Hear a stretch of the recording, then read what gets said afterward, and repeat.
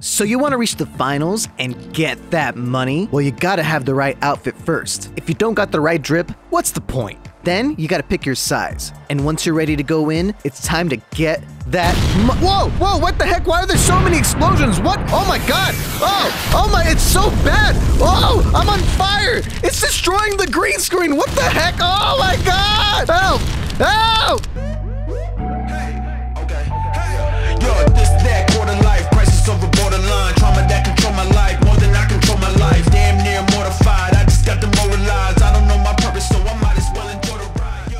The Finals is a new first person shooter developed by the indie company Embark Studios, which is comprised of a bunch of ex DICE developers. So if you think this game feels like Battlefield, it's because it kinda does. It's a little difficult to accurately categorize this game as it's kind of its own thing, but to put it simply, it's a class based heist game. Don't worry, I'll explain. I mean, I always do. Come on. It's me. Four teams of three go into an arena and are all trying to secure a vault full of cash, to then transport to a cash out station to cash out. This process repeats until time runs out and the team with the most money at the end wins. You'll earn a little bit of cash for opening the vaults, and some cash for being the ones to put it in the cash out station. But the big amounts of money won't be awarded to your team until the cash out timer finishes, which means it can be stolen. That's where the teamwork really comes into play. Your team needs to hold down the cash out station by preparing defenses, or if your team isn't in control of one, you have to push a team and try to steal it. So either your team successfully gets rich or dies trying. If you die, you can be revived by your teammates, or you can wait 20 seconds and use one of your respawn tokens to get back in. However, these tokens are limited, so once you're out of tokens, no more regular respawning for your team. If your whole team is wiped out, then your whole team will be revived after 20 seconds. Ugh, this takes forever. Any day now. Finally! So, uh, don't die, you noob. What really sets this game apart is that almost everything can be blown up. So if an objective is on the third floor, it doesn't have to be. You can blow up the floor below it, and now it's on the second floor. The cash out station has its own weird physics, so it can move around a ton, which can lead to some hilarious steals. The cash out's out though! The cash out's out to steal it! Oh my god! You got this. You got this. Shut Oh my God! You need to reboot. Team one. There's no way! I got it. I did say that this is a class-based first-person shooter, so let's talk about There's three classes in this game light, medium, and heavy. The only real distinction they have aesthetically is their size, so you can make them all look the same. One will look like a child, and the other will be like Shrek. But when it comes to how they play, it's drastically different. Every character can carry one gun, three items in their inventory, and one main ability. Between the three of them, there are shared abilities like frag grenades and incendiary grenades, but most of them are unique to their class. The light class is fast, with tons of movement abilities, like a grapple or a dash, and even the ability to go invisible. I'm going ghost! You can be small with an Uzi, a sniper, or even a knife. You can just go around and give people the stabby stab. It's like you're on Scream 6. Wait, is that me? Uh, the lights do a ton of damage but have a little bit of health. So they're like glass cannons. They will be the best at securing kills and escaping, but the moment they're caught in the open, they can be picked off with ease. So use the lights wisely. The medium class is my personal favorite and my main in this game. They have average speed and health, but they make up for it in their utility. You can be armed with a revolver, an AK, or even a grenade launcher, and your damage isn't anything to scoff at. But where mediums really shine is their abilities. Mediums can make zip lines for their teams to traverse the map, or kill their team with bad placements. Up the right tree. Cash out. I die! died. Don't take it. I'm sorry.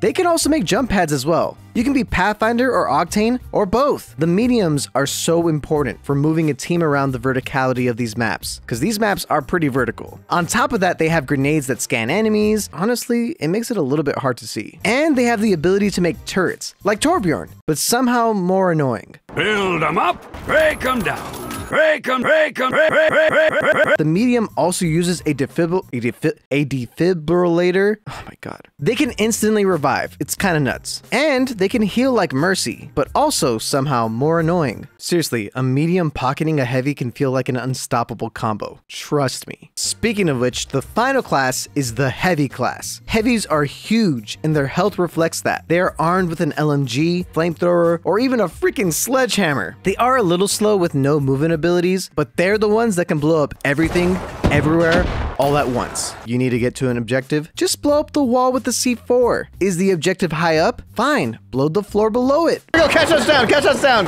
Nice! I'm stealing, I'm going for it, I'm going for it. It's ours, it's ours, it's ours. And these explosives do tons of damage to enemies as well. The RPG is an instant kill on a cooldown. The C4 can lead to some hilariously cheeky kills.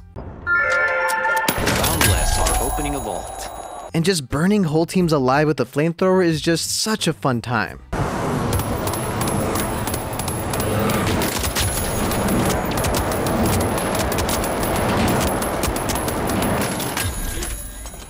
The heavies also come equipped with a ton of defensive shielding. They have a Gibby Bubble Dome or even a Reinhardt shield. For the first time ever, a game copied both Apex and Overwatch at the same time. I'm so proud. There's a ton more things that each of these classes can do, but that's the basic idea for each. So once you find the one that fits your playstyle, go in and get that money, son.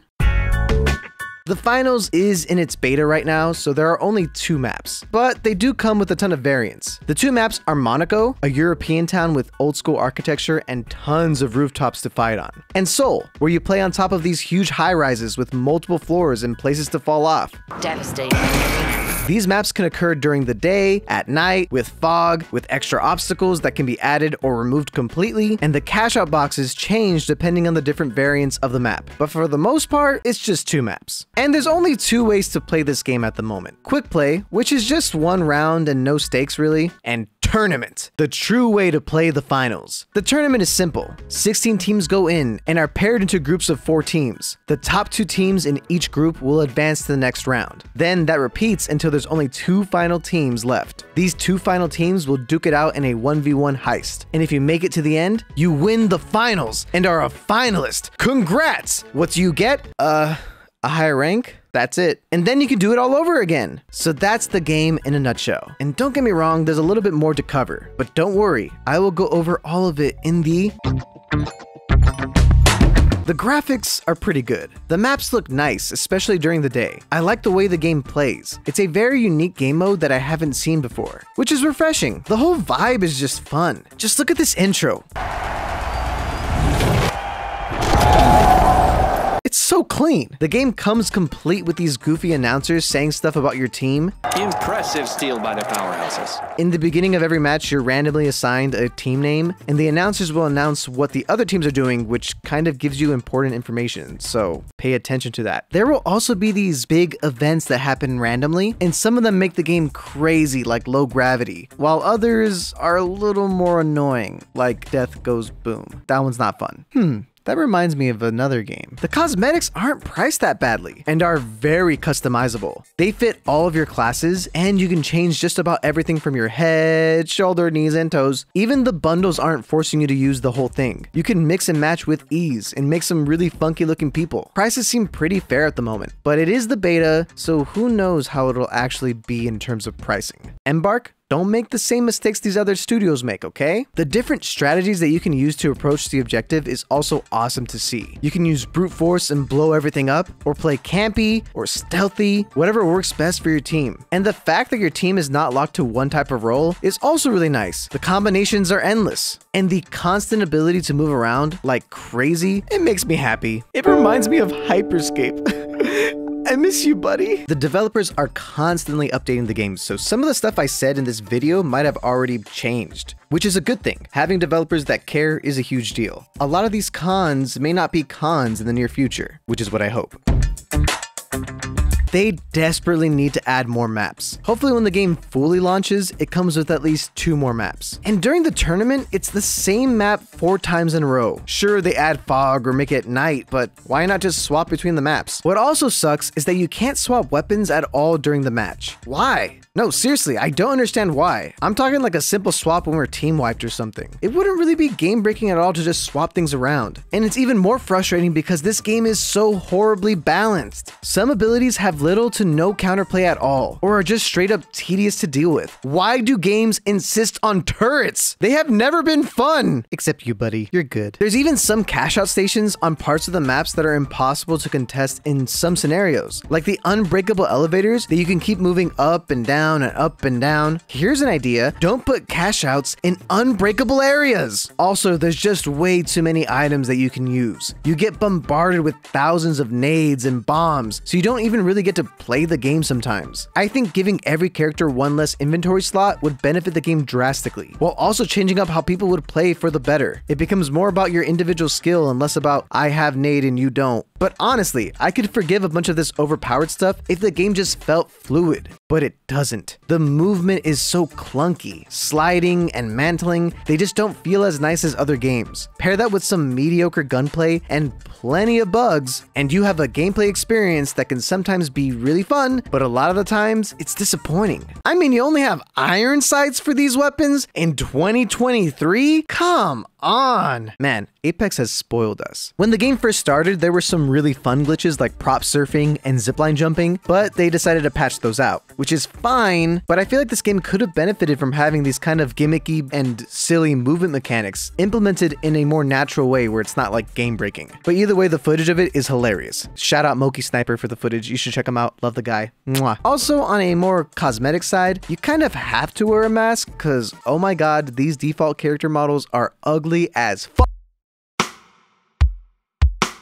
Overall, I really like this game. In concept. In execution, it's just okay. I get it though, they're indie developers and it's in its beta, so time will tell if they can fix all their issues. But I don't think that they can really make the game feel as good as other AAA shooters do. I do hope that this game ends up thriving upon release, or at least the idea that this game made of the money heist mode gets absorbed by Apex Legends or Warzone because the core idea is so fun and I want more of it, but the actual gunplay and movement leaves a lot to be desired. I mean, just imagine this finals game mode in Apex. It could be so cool. So, I'll be giving the finals a 7.5 out of 10. If the movement and gunplay felt more fluid, I think there is a solid game hidden in here. But as it stands, it could use a lot of work.